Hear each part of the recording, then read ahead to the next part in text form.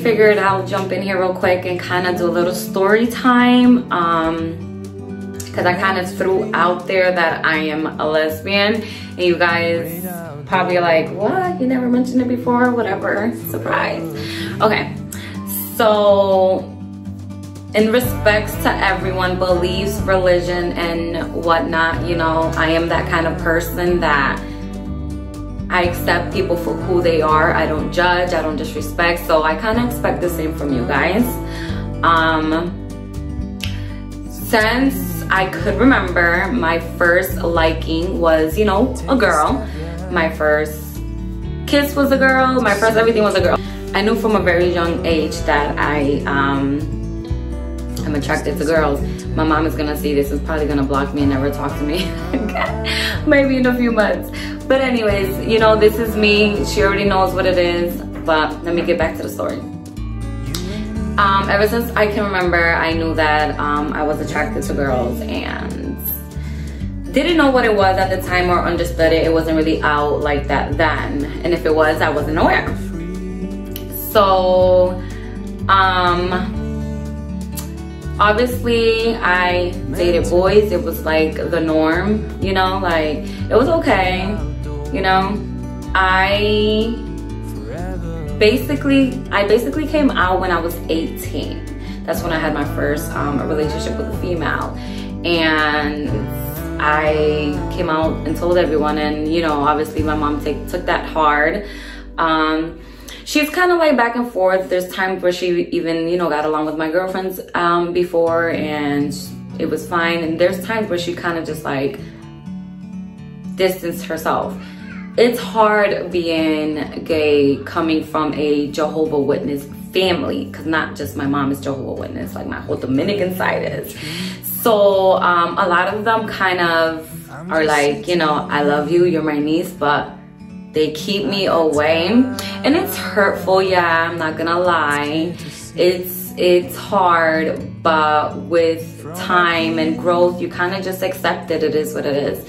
Try not to cry you know because i'm a very loving person i feel like you guys should just love me for who i am it doesn't change who i am as a person i know i'm a good person i have a good heart everything that i do comes from a good place but just because of that i'm like pushed to the side you know the relationship with my mom has been off and on there's times where she comes you know and visits and stays for a few days and then when she leaves you won't hear from her for like a month or so it's like one time it was for a whole year you know? And I'm sure it has to do because of how I am, but also she's dealing with her own demons, her own stuff. So she kind of, she closes herself off a lot. And I'm respectful, you know, even if it hurts or whatnot. There's times where she even, I say throw the Bible at me. She's always like saying stuff like, oh, you know, I don't want to say what she says because I don't want you guys to like get upset or whatnot because this is not the intent of this video. This is not you know that's not what i'm trying to do have you guys like come at her. Um she i love her. Mommy i love you. Don't get upset because i'm making this video my Puerto Rican side of the family, you know, they were more accepting. Though I'm not close with them either. I'm not really close with a lot of my family members, guys. And my Puerto Rican side is like huge. My dad's side, I mean, not just my Puerto Rican side. My dad's side, um, I don't have a relationship with my dad either. Dad, everything I don't, I don't, I'm trying not to like be everywhere. It's kind of hard for me to tell a story and not be everywhere, you know? So, um, my main thing is just telling you guys like how I came out and how it affected me relationship wise with my mom, you know? So for the times that she is around, I take it in, I do stuff, I take pictures. I'm like a big kid, you know? Um, so we have to take advantage. She's here today and we're gonna be doing stuff. So I just kind of wanna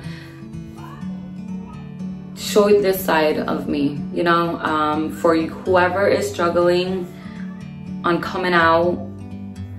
I mean, if you're a teen and you live at home, it's kind of harder because if they don't accept you, I know there's situations where they got you kicked out and whatnot. I don't know what to advise you on that. My advice and my opinion is come out when you have your own shit because that's one thing about me. I've been on my own since I was 13, you know, so when I came out, I wasn't living with my mom. Like, I can't get kicked out, like, you know what I mean? And where I was living, I was accepted. So definitely my advice would be like, come out, if you're at home, come out um, when you have your own place, especially if you know your parents are religions. Come out when, yeah, you have your own place because you don't want to end up kicking, getting kicked out or anything like that.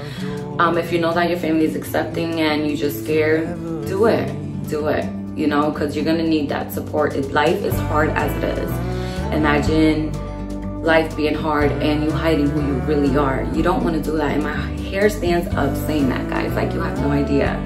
Be your true self. That's the only way you're to be truly and genuinely whole and happy. Be yourself. Don't be afraid to stand up for what you believe in. That's one thing about me. Like, mainly it's because I've raised myself. You know, I'm strong-minded no one can tell me anything. Like I'm gonna be who I am. Like I'm self-made. I raised myself. Yes, to help with the system, you know, but be who you are. Be proud. So I do stand for the LGBTQ community and I'm proud of it. And whoever is judgy and whoever doesn't accept me and doesn't like me, I apologize and you can unsubscribe. You know, if you don't support me as a whole, as my whole self, there's not much I can do about it. So I just wanted to send this message out, guys. It's very personal, very transparent, very hard, and it's hard to hold back the tears because you guys just don't know how hard it really is. Especially when you want, when you want your parents around, you know? And it just can't happen just because of your lifestyle but that's okay. You know, like I said, I don't, I don't hold grudges. I love her. I love you. I'm looking at you and I'm telling you that I love you. No matter what, you know. That's how much I love myself. If, you know, whoever doesn't want to be around and whoever like doesn't accept, then there's not much you can really do about it. So, I'm gonna end this here because I don't know where it went. It just went left. This is not supposed to happen. I just wanna say that I love you guys. Let me get a tissue, guys. I just wanna say that I love you guys. And I wanna thank you guys for supporting me. And if there's any moms out there, parents, family members, whoever, if anybody comes out to you if you have a child, a cousin, a niece that comes out to you, be supportive. Tell them you love them. Tell them it's okay. Whether your religion or what whatever your religion is, like be supportive. Tell them you love them. Stand by them. You know? They're gonna need that. They need that.